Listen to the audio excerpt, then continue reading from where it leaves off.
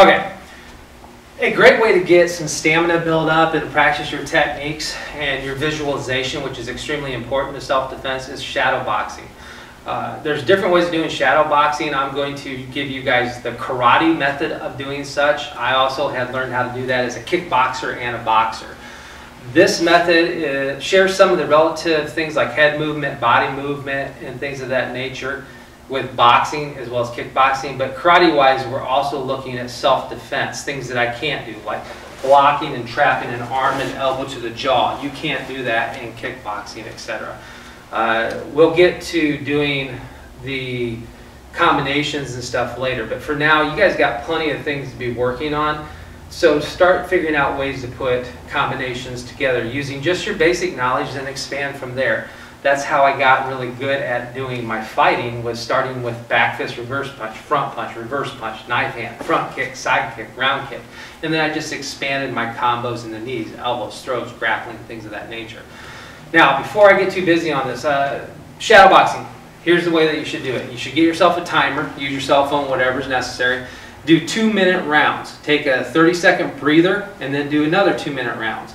I personally recommend doing five rounds a day, and you know, because it's not very long. I mean, two minutes, five rounds, ten minutes plus a minute and a half for rest.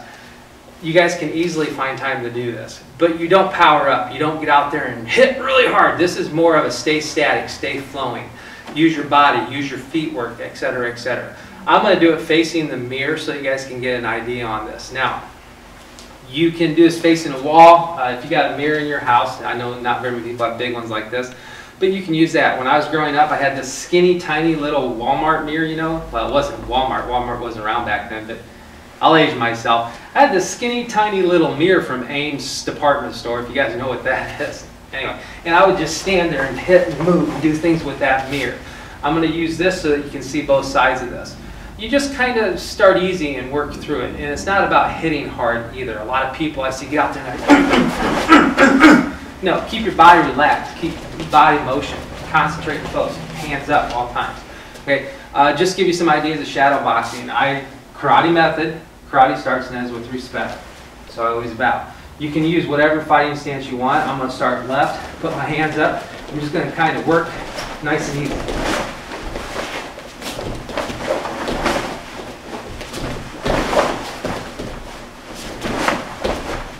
Power shot.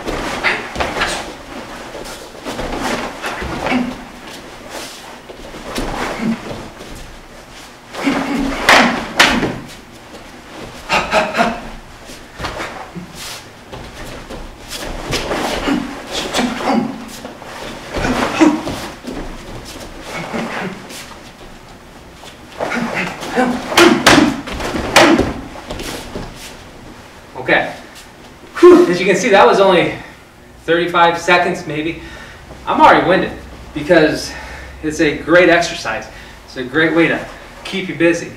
Uh, talking about the huzz and the humps and stuff of me. Modify kiais. Exhale, tighten up. Very important. Add that into your shadow boxing at home. The biggest thing was I was always moving. I was it?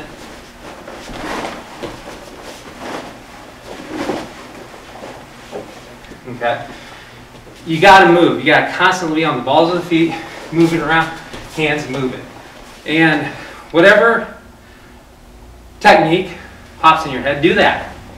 That's probably the easiest way to do it. This is a great exercise. I recommend you guys hit this, start working on it. Talk to you guys soon.